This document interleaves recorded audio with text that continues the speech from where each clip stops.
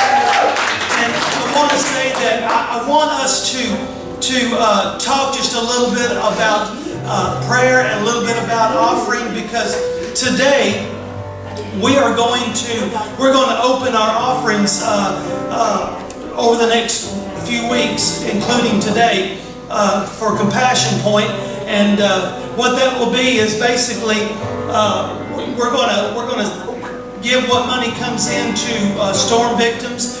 They are all the way from Nashville all the way.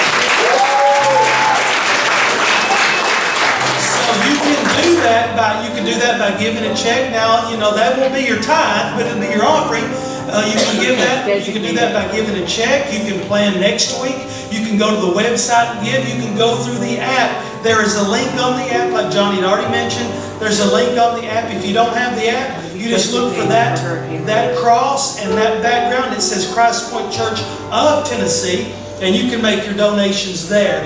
So I want you to know that it is, uh, uh, and in, in light of all of that, there's a lot of suffering. I saw on the television about an hour ago, an entire family didn't didn't make it through uh, the, the floods in, in Houston, and, and I'm assuming they found the grandparents and all the great grandchildren, uh, uh, and they've been passed for some time, I guess, in, in a van in, in, in Houston. So there's a lot of people hurting. There's a lot of people displaced. A lot of people in need.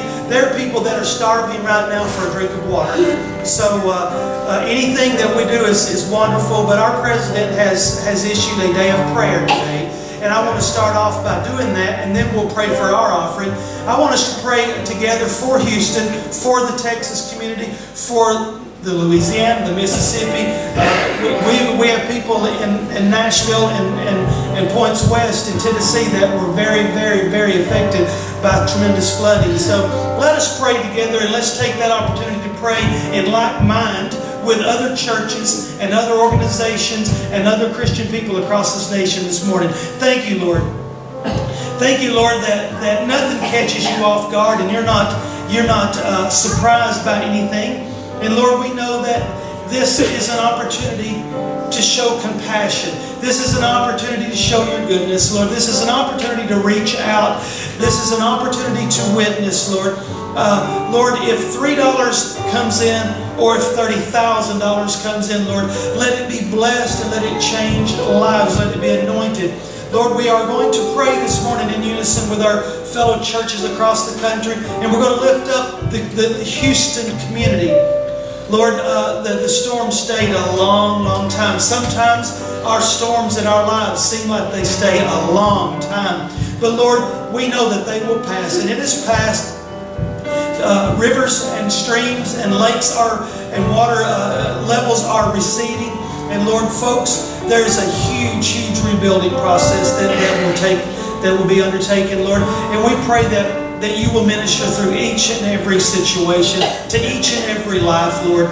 We ask you to bless, bless these folks and let us be focused on praying and seeking you for them this morning, Lord, and this day, Lord. In your name we pray. Amen, amen, amen. I, want, I would like for you to put, uh, to pray with me for our tithe and offering. If you uh, are new with us this morning, if you're visiting, we pray this prayer, we put it on the board.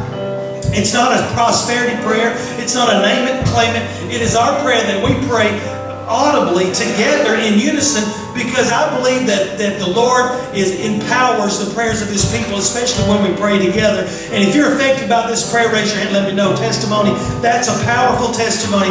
Let's pray it out loud. As we receive this morning's tithes and offerings, we are believing you, our Lord, for provision and protection, jobs and better jobs, raises and bonuses, benefits, sales and commissions, favorable settlements and contracts, interest and income, rebates and returns, checks in the mail, gifts and surprises, money found and debts paid off, expenses decreased and blessings increased.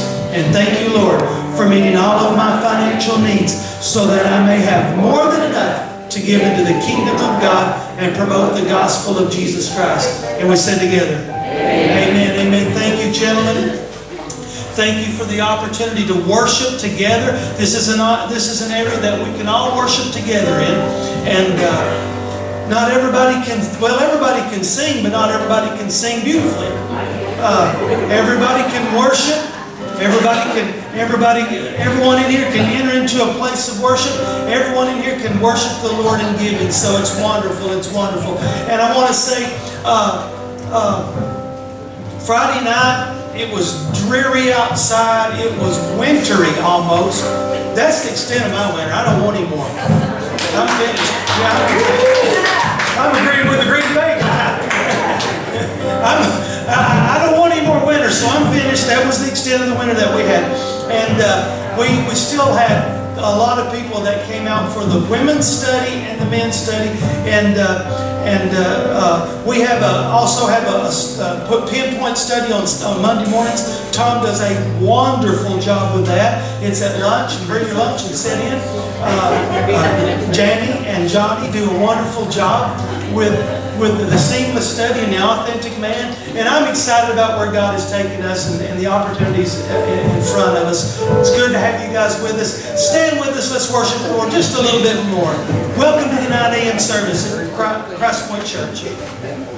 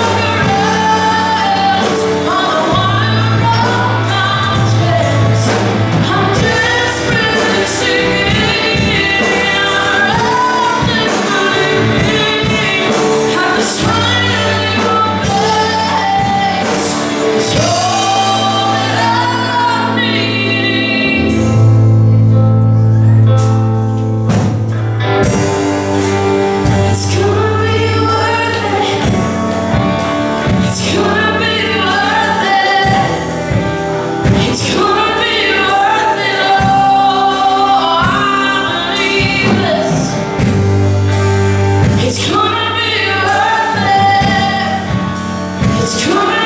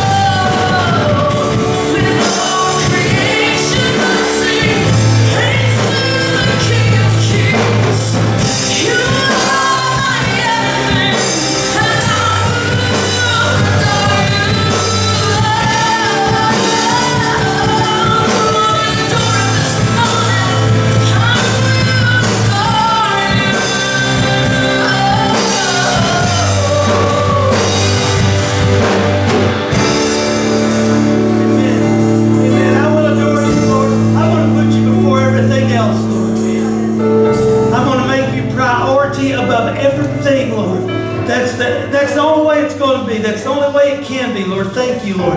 Thank you for making me priority, Lord. Lord, we honor you this morning. Lord, we thank you for the powerful time of worship. We thank you for entering into that time of worship, Lord. And now, Lord, we ask you to anoint your word as we move on, Lord, as we move forward, as we as we uh, dive into your word for us this morning, Lord. And I thank you, Jesus, and what you're doing in our lives, Lord. We praise you, we honor you, we exalt you, we need you, Lord. In your name we pray. Amen. Shake hands with somebody. Tell them welcome home. Welcome home this morning. Welcome to the 9 a.m. service at Christ Point Church. Welcome home, welcome home, welcome home.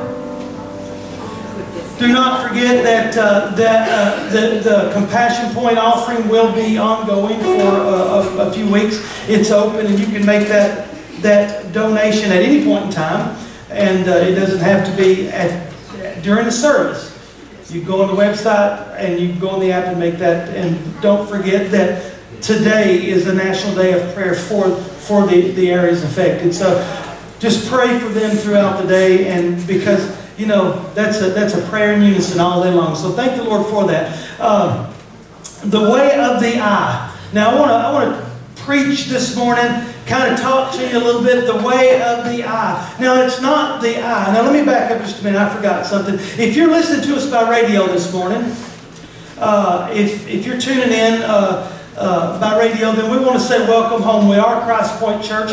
We're located on the square in Sparta, Tennessee. If you come on into Sparta, go to the square, you'll find us. Our service times are at 9 and they are at 11 a.m. And uh, Wednesday night fuel begins at 6. We will feed you at 6. And then also we will, uh, we will have service, uh, elective classes on Wednesday nights at uh, at uh, 6.30. So it's good to have you with us. It's good to, for you to be tuning in with us. If you're watching us by YouTube or one of our links or Ben Lomond uh, TV, then we want to say, welcome home. It's good to have you guys with us this morning. The way of the eye. Now that's not the eye that we see with, but it is the letter I, the way of the eye. That's the title of the sermon this morning. The way of the eye. And see, let me tell you something. The eye can cause us to act the eye can cause us to do. The eye can cause us to react in ways that are detrimental. Detrimental to our well-being, detrimental to our reputation, detrimental to our direction in life, detrimental to our relationships. Now I'm going somewhere. I'm not just talking about the alphabet this morning. Uh, the eye can cause us to act and to do and to react in, in ways that are detrimental ultimately to our lives. So we're going to look this morning at two eyes. We're going to look at the, this morning at two eyes. I mean, we're kind of going back to first grade here. We're going to look at the big eye and the little eye. So we're going to look at the big eye and we're going to look at the little eye. So first of all, I want to introduce you to the little eye. The little eye in our lives is the injection. The little I is the injection. I meaning injection. The little I is the injection. See, let me ask you something, and let me challenge you this morning. And you're thinking, what are we injecting into our lives? So, what are we injecting into our lives? Because whatever we inject into ourselves becomes part of us. Now, if you have a need for insulin, many people in this country do, many people in our church do. If you have a need for insulin, then you will make an injection of insulin on a, on a, a regular basis, and then that insulin becomes a part of you. So you are injecting something that becomes part of you. It helps you. If you are, if you are uh, uh, under the weather and you have a need for antibiotics, then you will make an injection or someone will make an injection of antibiotics. It becomes a part of our system. It becomes a part of who we are. It becomes a part of us. Drug addicts, when, when, when, they, when they are partaking uh, in, in, in injections, the drug becomes a part of them. So I want to look at the injection. I want to look at the little eyes. I want to look at the injection. I want to go way back about 3,000 years. Let's go back about 3,000 years-ish. And let's go back to the great King Saul of Israel. Let's go back and look at this guy. Now, a lot of, lot of things that we can learn from good old King Saul. A lot of things. We, we need to look see what he was injecting into his life. Now, now, let me just kind of get you on board in case you don't know. The people of Israel, you know, they, they were they, they were they were crying out to the Lord, you know, we want a king like other nations. See, let me tell you something. When we start crying out that we want something like other people, then sometimes we don't know what we're asking for. I want something like they have. I want something, I want to be like they are. I want to do like they do. We want a king like other nations. We want a king. So God said, I'm going to give you what you're asking for. If that's what you want, I'm going to give it to you. I'm going to give you what you're asking for. King Saul was the first king anointed, uh, appointed uh, by the Lord through the prophet Samuel to become king of Israel. So he's the, he's the new king of Israel. They got what they wanted. See, let's take a look and see what he's injecting into his life. If we look into, we're, we're going to put this scripture on the board, but, uh, but you can read it. If you look into 1 Samuel chapter 10, we're going to stay in 1 Samuel this morning, but if you look at first, uh, chapter 10, Saul has been given, he's, he's, he's relatively in the infancies of his, of his kingship, of his authority, and he has been given a task by the Lord. This is what I want you to do. I want you to get ready for battle.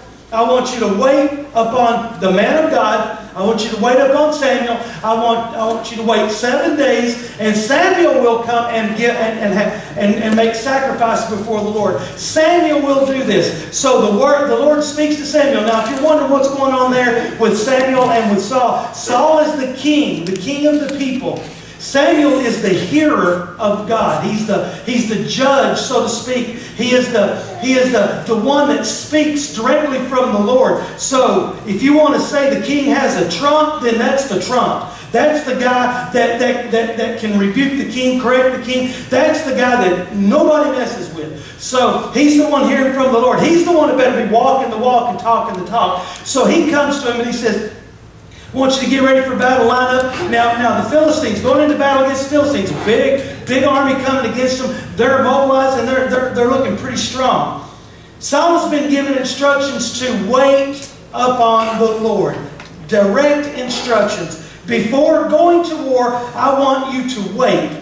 Don't move until I tell you to. See, we got to realize that this, our life is an existence based upon what God tells us to do, not what we decide is best for us. So we're going to look at the injections that Saul makes. So basically, the very first injection, we're going to look at 1 Samuel 13, verses 8, 9, 10, and 11. The very first injection that Saul makes is pride.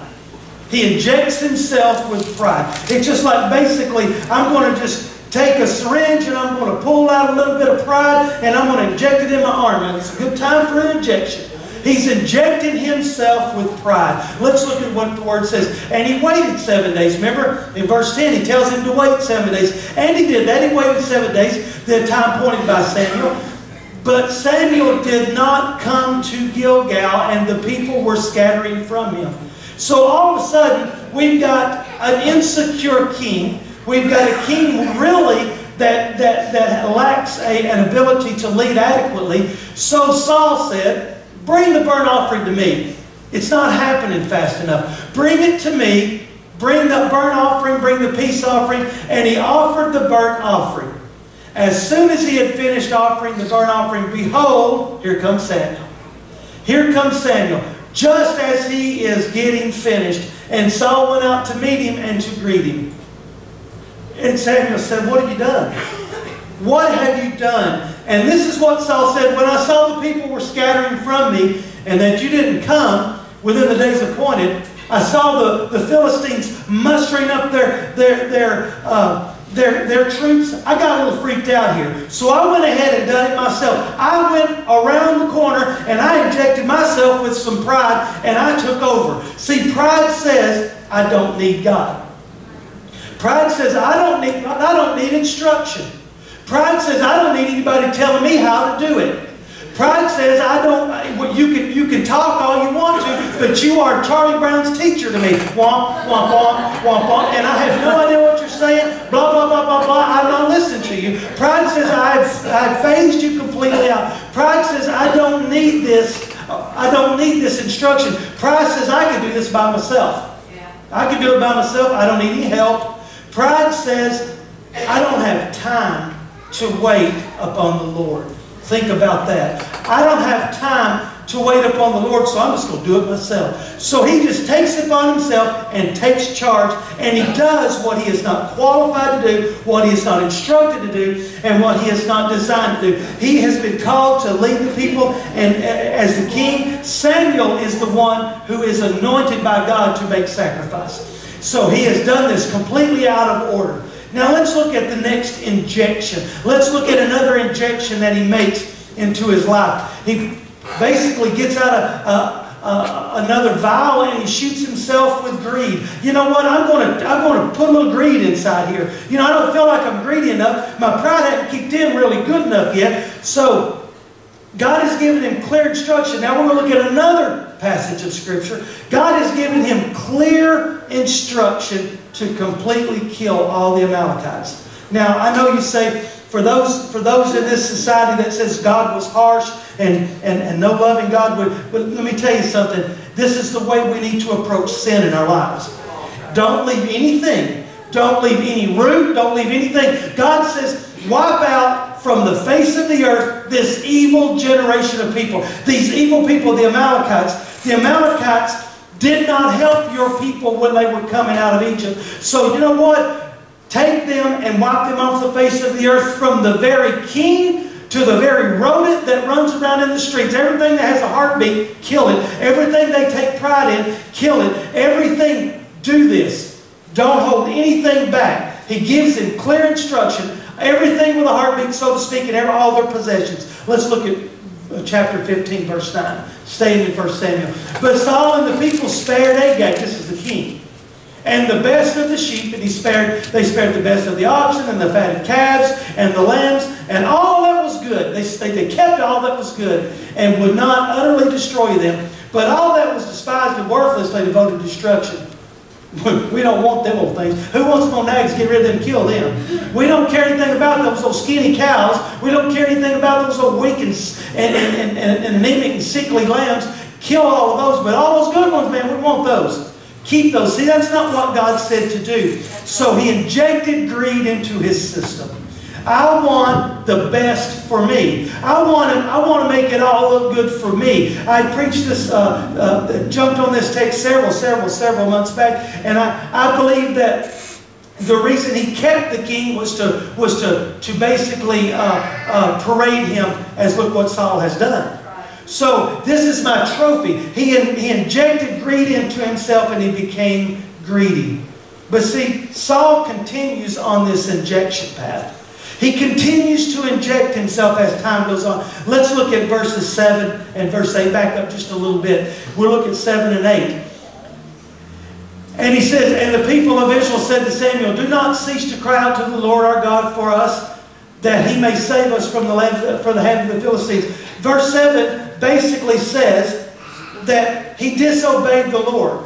He disobeyed the Lord. So he, he, he basically just takes some injection medicine and just injects, injects some disobedience into his life, into his system. You know what? It's not good enough that, I'm, that I'm, I, I've injected pride. And it's not good enough that I've injected greed, but I'm going to inject some disobedience just to make sure that my sandwich looks good and tastes good. So he injects a little bit of disobedience into there, and he, disobe- uh, he disobeys a direct uh, order from the Lord. They said that basically in verse 7, they, they kept everything that was good. They kept this. So disobe- I disobeyed the Lord. God said to kill them, and I didn't. I kept them. So Saul keeps on, and he continues in this lethal injection.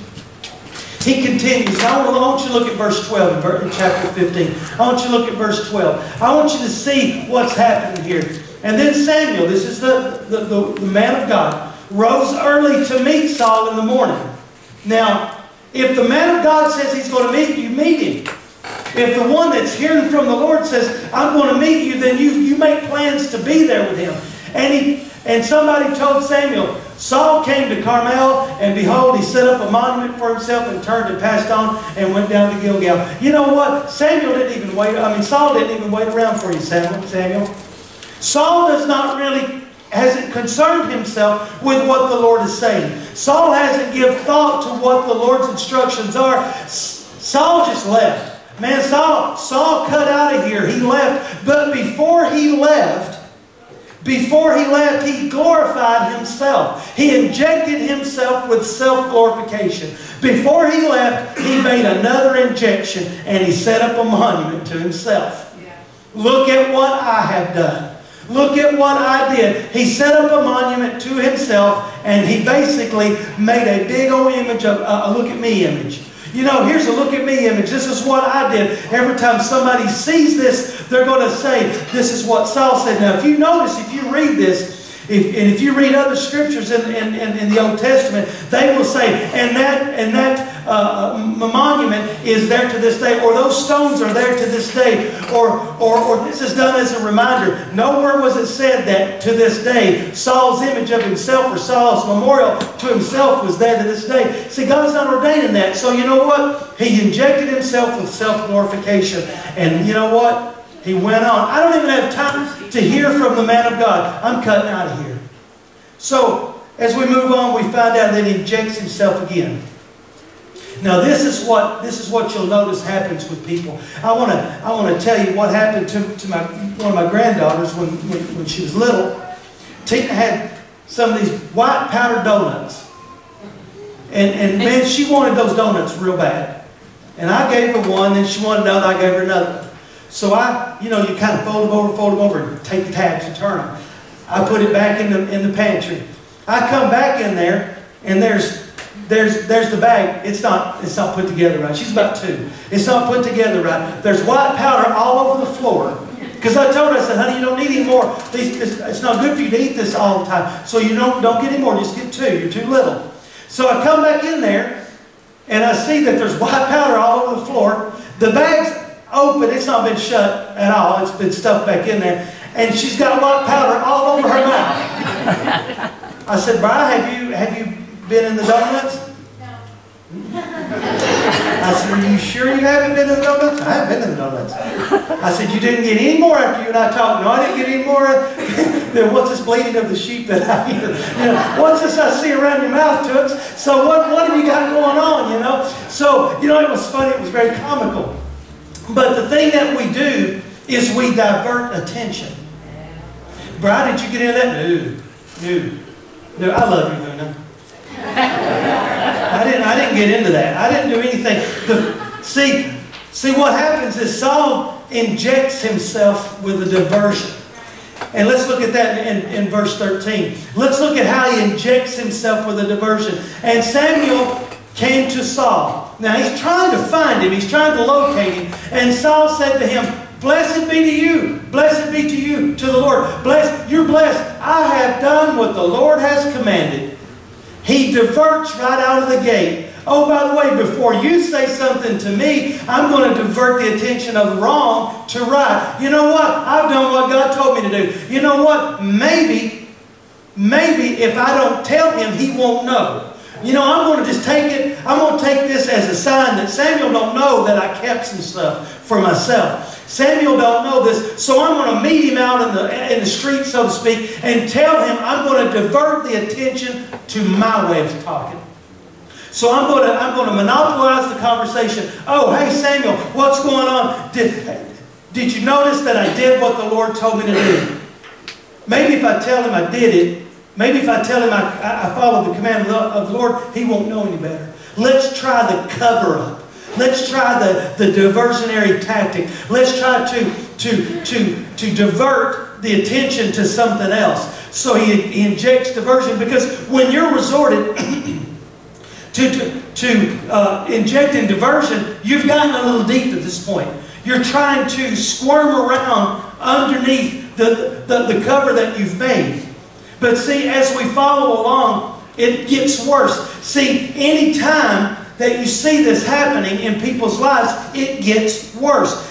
If you see someone that is dependent upon drugs, it gets worse. So he gets to the point to where not one injection is good enough. He starts to have to inject himself twice. As we look at uh, uh, verses 14 and 15, let's look at the double injection. And Samuel said, What then is this bleating of the sheep that I hear and the lowing of the cattle?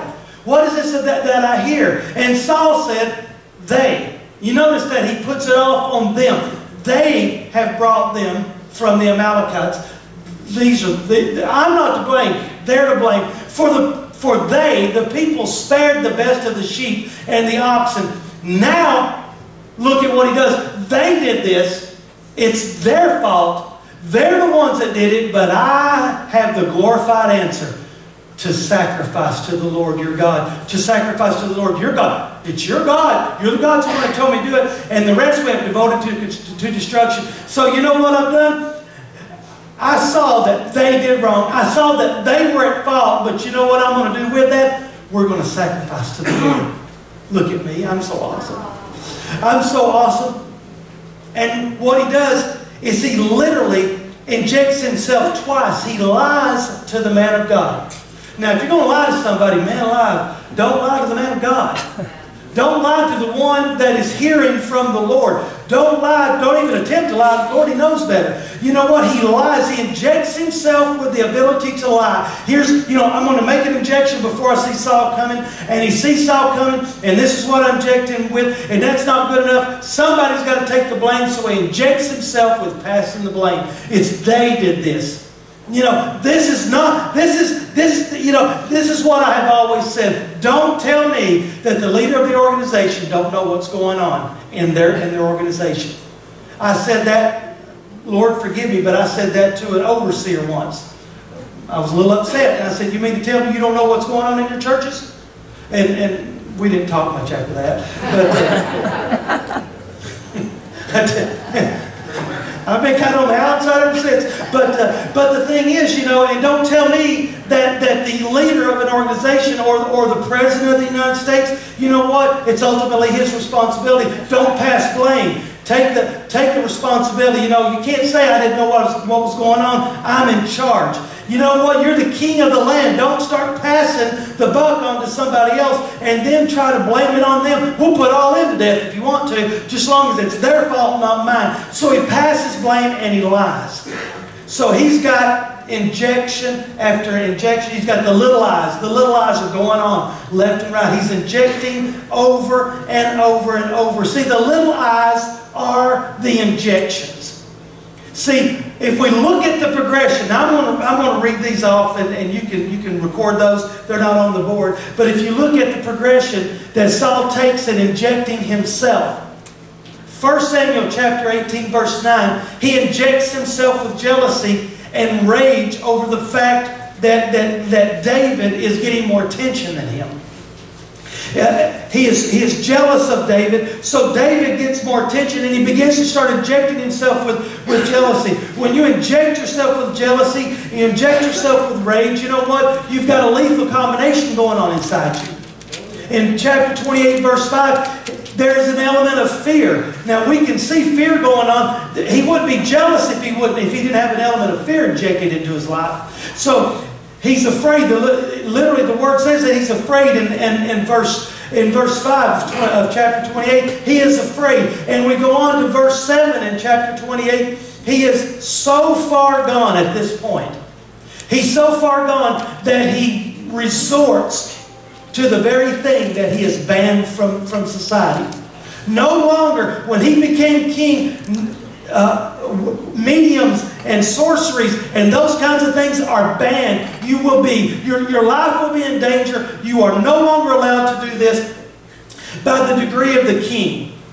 Now God's not listening to him. God has shut him down. He is no longer, he's no longer has any kind of channel to the Lord. He is still the king. And he is upset because he cannot get direction, so he does the very thing that he has told everybody else not to do. So you could see the progression. He's injected himself with everything until he gets to the point to where he goes and visits a witch, immediately. Somebody to, to, to, to, to summons up the spirit of Samuel who has passed away, to summons him up. And he is visiting, he's doing the very thing that is against the ways of the Lord. And he is doing it himself. So he's got to the point to where he is not in the gutter, he's kind of below the gutter.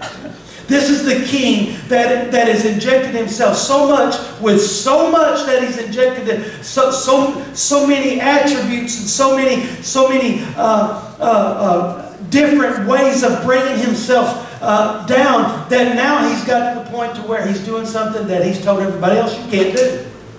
Now we go on to verse chapter 31, verse 6, we find out that Saul dies. See, this is what's going to happen. If you watch people and you watch their lives, and if you watch them ignore the Lord and ignore the invitation of the Lord, then you watch how their lives begin to start going down. Now, this is a progression. Saul is an example. It ends up, he takes his own life, uh, own life on the battlefield, and all of his sons are killed that day. Every, uh, his entire family dies that day. Even the great, his great son Jonathan, even the, the, the warrior Jonathan, the, the, the, the good and righteous son dies in battle that day. See, Saul started off pretty good. Saul started off pretty good. Things were going pretty good for Saul. See, God gave him right out of the gate, gave him a crown. Man, what more could you ask? You know, Saul was just just just a, a, a, a just a Benjamite man. He was just a, a, little, you know big tall fellow, but in a little small tribe. He was just a Benjamite. God gave him a crown. God gave him a throne. Set him and exalted him to a, a lofty place. Gave him a palace. Gave him an army. Gave him wonderful children. And everyone in the land looked up to him, revered him, and esteemed him as king. And he injected himself so much. See, Saul chose the way of the eye. That's what Saul chose, the way of the eye. See, the little eye is what we inject ourselves with. The little eye is what we inject ourselves with. It's what's going in. It is the injection into our lives. See, the big eye, you know what that is? That's the me. See, that's the me. That's the my own way. That's the my own agenda. See, the big I is my wants. The big I is, is it's all about me. See, the big I is I don't need anybody else. The big I is the I in team. You know what? It's the one. It, it's the very thing that, that will drive everybody away from us. The big I is fueled by the little eyes. Seeing it all started with one little injection. It all started with one little injection. Now, I've watched folks, I've watched good folks in my life. I have watched folks do it to themselves and allow people to do it to them. Now I'm going to tell you something. It's not bad enough that you do it to yourself, but sometimes you allow people to do it to you. I've watched people, good people in my life that I have seen throughout my life, they have allowed someone to inject negativity into their life. They have allowed them to inject blame into their life and to inject a, a, a, just a, blatant evilness into their life until their whole life was consumed with bitterness and hate. You know what? That once fun-loving person, that one once person that everybody enjoyed being with, now nobody wants to be around them because they have such an, uh, an air of hatred and, and, and strife and envy and bitterness about them because of what has been injected into their lives. And I've watched this happen over and over and over. Now I'm going to give you something very important, and I want you to listen to this worship team if you'd be making your way here.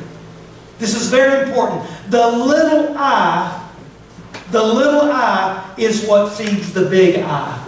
Now keep that in mind. Don't ever forget that. The little injections are what feeds the big I. The little I feeds the big I. See, but the thing is, here's the good thing that we can find out today. Here's the story. Here's the story that I want you to grab a hold of. You can also starve out the big I. See, if you're feeding something and you stop feeding it, then you will starve it out. You will starve that thing. If you, if you have a dog and you have him tied in the backyard, if you don't want him anymore, don't feed him and he will starve to death. The, the police will come and get you. And your neighbors will, will, will, will look down on you forever. But the thing is, is if you don't want something, then you starve it out. If you want the big I to be uh, to go away, then you have to starve it out and you have to change the little eyes. So you have to change the injections. We have to change what is being injected into our lives. Look at Saul. All of those scriptures that we read about Saul, all those things that we went over, all Saul would have had to have done at any point in time is done what David did and renew himself in the Lord. Encourage himself in the Lord. Visit on his face his time with the Lord, re, uh, renewing me a right spirit and creating me a clean heart, O Lord. But he didn't do that. He continued to get deeper and deeper into the injections. If we want to, if we want to starve out the big eye, then the little eyes, we have to go from injection of pride to an injection of humbleness and humility. See, look at the difference. Going from an injection of pride to an injection of humbleness and humility, an injection of greed to an injection of giving.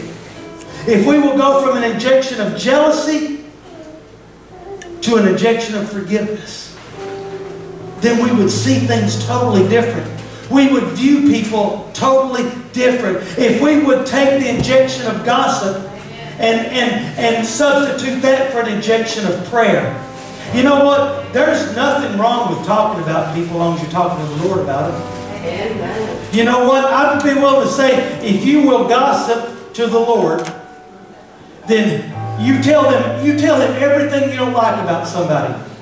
And after a while, you keep on. I'm going to challenge you. You keep doing that. After a while, you're going to find out that there's a whole lot of you you're learning. There's a whole lot of me that I'm seeing. You know what? Maybe I don't need that person to change. Maybe I just need to change the way I see them. Maybe I need to go back to a little bit of humbleness and, and, and stop injecting some pride. But you know what? If we would change an injection of lies and blame to an injection of integrity. If we would, if we would change a, a, an injection of disobedience to an injection of relationship if we would change uh, an injection of negative words to an injection of the Word, if we would inject the Word into our lives, then the negative words don't have any root. They don't have anything to take root to. But, but, give the Lord a hand. I mean, He's good. If we will inject the Word into our lives, then there's, you know what, it will, it will take up a big space in our lives. If we will inject not, if we will remove the not knowing injection of Christ, if we will take the injection of not knowing Christ and kick it to the curb and inject knowing Christ into our life, then you know what? We're going to have a different point of view of everything that we see. Every single thing. You know, we have to change the way of the eye. Because the way of the eye can take us one of two directions. It can take us where we don't want to go, or it can take us where God wants us to go. If we change the way of the eye, and if we change the little eyes, see, we will, we will begin to see the big eye disappear, the, the me disappear. The all about me disappear. And you know what? I promise you, you will enjoy life much more when it's not about yourself. So I want you to stand with me. I want to ask you to stand, bow your heads and close your eyes with me this morning. I want to ask you to pray a prayer with me. I want that prayer to be a simple prayer of, of, of, forgiveness, Lord. I want you to forgive me of my sins. I want you to come into my life. I want you to, to, to, to, to, to forgive me of my sins, to enter into a, a relationship with me. That's, that's, that's ultimately why we're here. Lord, I don't want to make, continue to make these injections into my life. I don't want that to happen to me. You know what? I want to be different. I want people to notice a difference in me. So I want you to think about that. And I want you to pray and repeat after me. If you're in the house and you're visiting with us, we pray this prayer out loud. It's a prayer of, of forgiveness. It's saying, Lord, forgive me of my sins. Lord, I am no different than anybody else that has ever walked, ever lived, ever took a breath, ever had a heartbeat. I am I have been born into sin, and without the forgiveness of the Lord, the remission of sin, then I will not see heaven. So I want you to pray that prayer with me. And we're going to pray it out loud. Your church is going to help you. So I want you to know this is your opportunity to seek the Lord and to pray a sinner's prayer. Follow after me. Dear Lord, I come before you. I am simple and I have a simple request. Lord, I'm asking you to forgive me. Forgive me of my sins. I'm asking for renewal. I'm asking for redemption. And Lord, I thank you for entering into my heart, beginning a relationship with me. In your name I pray. Amen. With your heads bowed and your eyes closed, raise your hand if you prayed that prayer for the first time and let me know. Amen. Amen. Thank you. It's, there's two. Thank you. Amen. Amen. See, that's why we're here. Now, this is what I want to challenge you to do. We're going to open the altar. We're going to, we're going to be able you, you can bring whatever. JD was praying for someone a minute ago. See, sometimes we come to the altar, it's not always we're, we're praying for us, we're praying for somebody else. Bring whatever it is and come to the altar, but if you raise your hand, I don't want you to leave here until you have grabbed somebody. Now, if you're a woman and you raise your hand, I want you to grab one of our ladies and say, how can I, how can I walk with the Lord better than I, I mean, start this walk out and do it right. How can I do that today? If you're a man, grab one of our men and say, help me to walk this walk. Because you know what? This is a day of salvation, man. I'm excited to death. So I invite you, we open the altar. I invite you to come. We're going to sing just a little bit more. And I want you to, to know the altar is open. And it's your altar. It is what God has given you and me. And as a place of victory. In the name of Jesus, sing with us.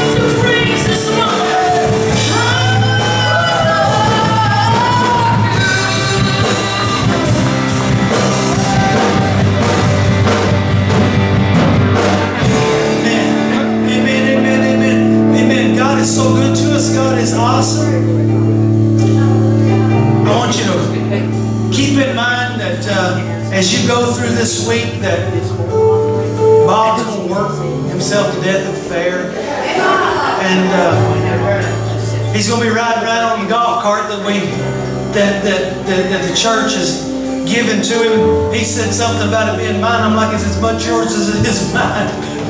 so do with it what you want. So uh, it's a blessing to be able. I went up to the the senior adult pageant, and, uh, and mom says, in which I won, and uh, and and there goes Crown Point's cart, taking people back and forth in the dreariness of the day. So good to have that. Good to have that. A lot going on. In mind uh, uh, uh, the studies. Keep keep everything on the back burner as far as uh, in, in your mind, all, all the scheduling that we have.